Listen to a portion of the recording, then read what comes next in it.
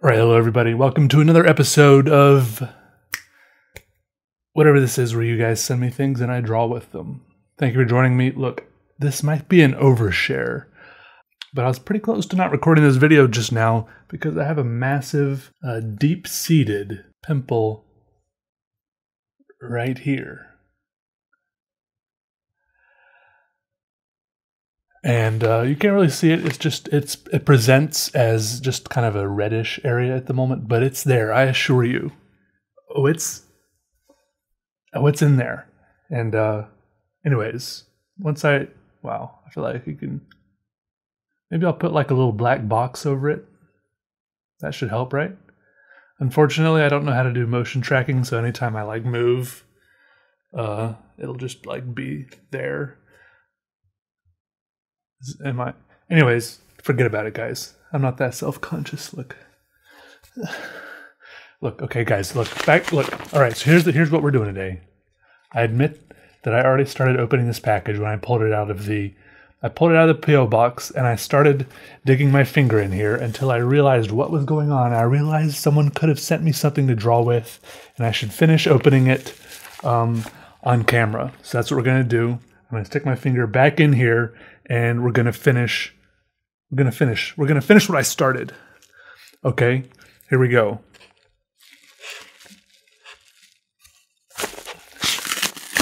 And it's done. Good good work, everybody. Let's see. Let's see what's in here.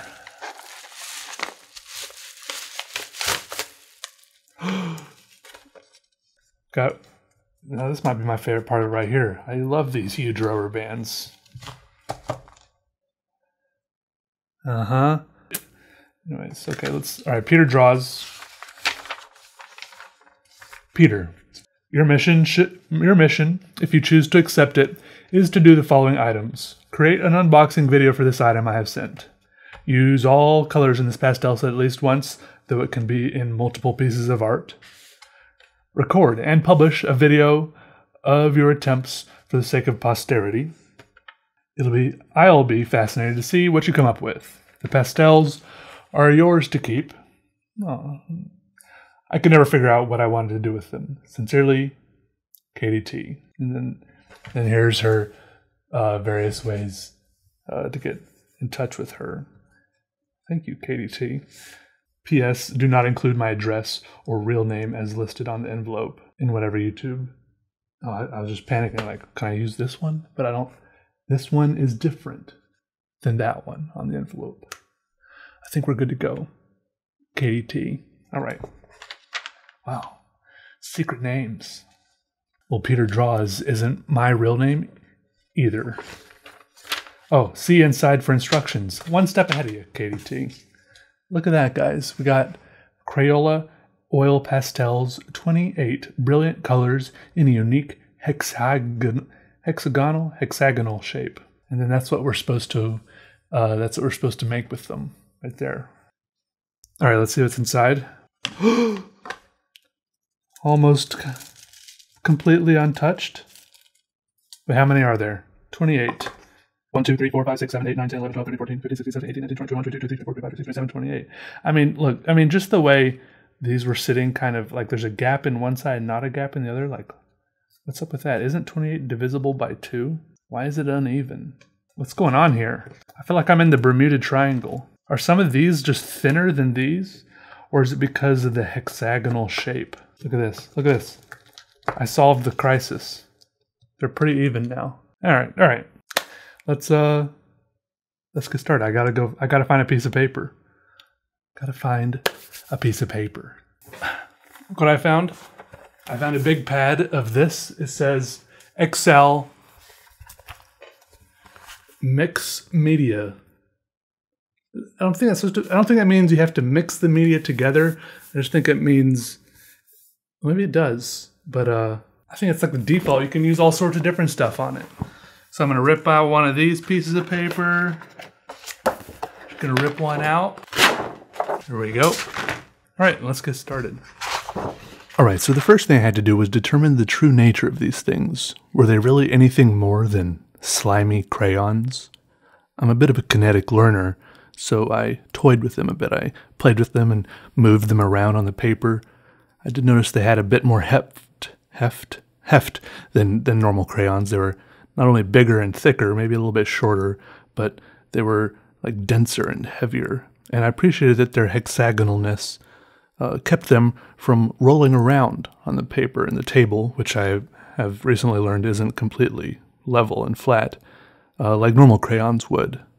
I like this about them. I also realized that uh, they very easily leave marks on the paper, and in my toying and playing with them, I was leaving stray marks on the paper. So when I did finally get down to it, as it were, I flipped the paper over and began drawing. Now, the initial instructions that came with these oil pastels, as I think they're called, did specify that I needed to use all 28 of the colors uh, in my little experimental drawing here. So, here on the left, in a somewhat legible list, mildly legible, I'm listing out the colors as I use them uh, initially. Each time they're used for the first time, I put them in the list there, and I'm just going at it. See, this, I felt like, as I sat here and drew, I felt like a little kid at a restaurant with one of those little placemat things. And usually at the restaurant, though, they only give you like three or four crayons and they choose the colors for you, except here, I had all the colors of the rainbow and some. At one point, I was trying to figure out where pink went in the rainbow, because I never really remembered seeing pink in a rainbow ever. I think it goes kind of in between on either end, and, and kind of in the middle and nowhere, like between violet and, and red, which is kind of an impossible spot in a rainbow. Maybe it's kind of dithering, maybe it kind of disappears out onto the end. I don't know. I remember the one time I ever went to Red Lobster the waitress was taking us to our table, maybe this is the hostess. Does the hostess take you to your table? And she paraded us around a large man of ample stature and, and girth who had in front of him two large platters. One platter was full of shelled shrimp. Wait, does shell mean they have shells on them or not shelled? No shells. There was one platter piled with shrimp with shells on them, and then another platter with the the, the discarded husks. And this man was so large that his arms reminded me of little T Rex arms because they sprouted out of his sides and then he could barely touch them together in front of them as they rested on his belly. And as he like ripped apart these shrimp and shoveled them into his mouth. And it was pretty amazing. And the, the hostess kind of paraded us around this man on our way to to our booth farther into the restaurant like like they were proud of this guy like, like they were so happy with what they had done. Like, look what we've accomplished here at the Red Lobster. We've got this guy, we've got the little lobsters in the front of the tank that you can look at while you wait for your party to be called. And we've got your four crayons to scribble with at the table. Anyways, obviously, I've never done anything like this before, so I really did feel like a kid in the sense that uh, I was just going at it, having fun, scribbling away. Obviously, I would never use every single color if I hadn't been instructed to do so it was both liberating and constricting. I, I felt like I had to continually move on to the next color and before because I was afraid that I would I would get the whole drawing done and still have like 12 colors left.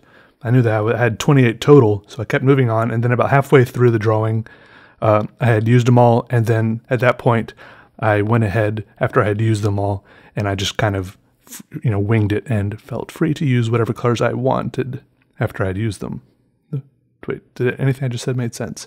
Anyways, I quickly learned that some colors don't go together well. I'm no color scientist by any stretch of the imagination, and it's not all common sense like you might think it is. For example, you know, uh, orange and pink, if you squish them together, and these oil pastels are very easy to squish together. You can use your finger to squish them together, or just color them on top of each other, and they kind of squish each other together.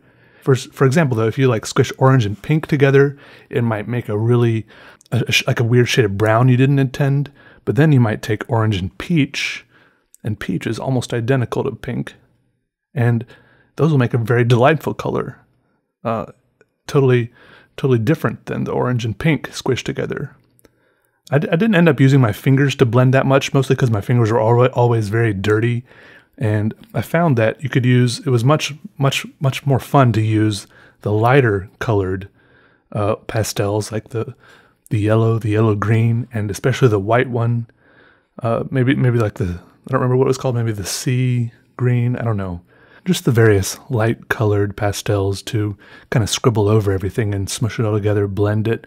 There was a lot of blending going on, and I found that I had to do that kind of continue building up layers to uh, kind of cover up the paper. Otherwise, there would be little specks of white paper blending, uh, like poking through, which is fine if that's what you want. But if it's not what you want, then uh, that's what you have to do. And I'm sure a lot of this also depends on which type of paper you use. Maybe there's special paper that's like dedicated or intended for oil pastels. And of course, I was just using mixed media paper, whatever that is. Anyways, I had a blast. I got a little bit messy. Uh, I mean, this looks totally like weird, some weird psychedelic dragon pony thing from the netherworld. I, I don't know what it is, but uh, I, I had a great, I had a, I had a great time.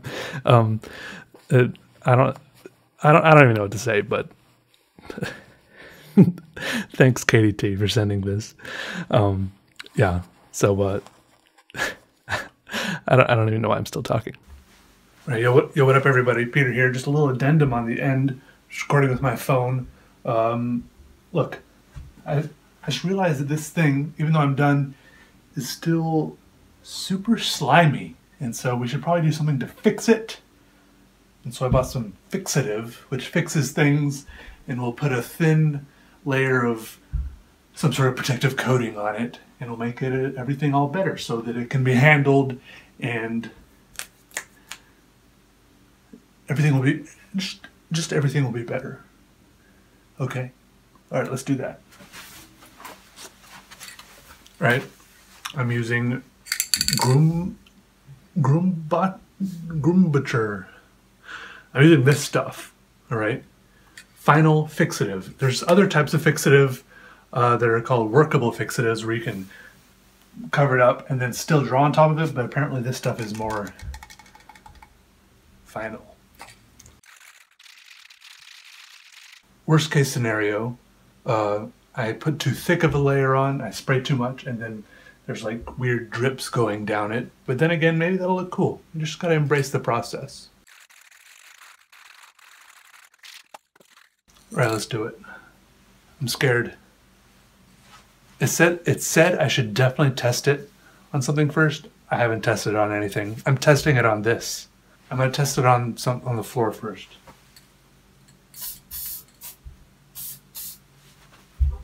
All right.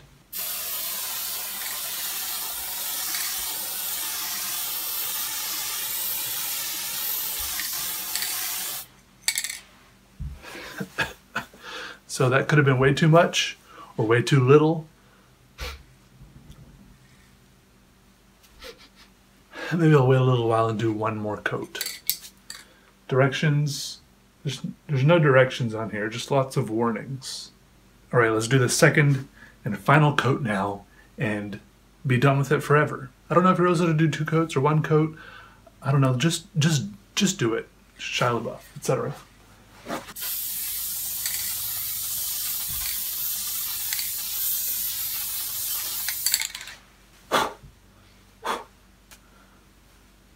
All right. See you guys later. Have a good day, and uh, you know, peace out. This is to be like one of those video things that ends the scene, or wait, no, these are to start the scene. Goodbye. Goodbye, anyways.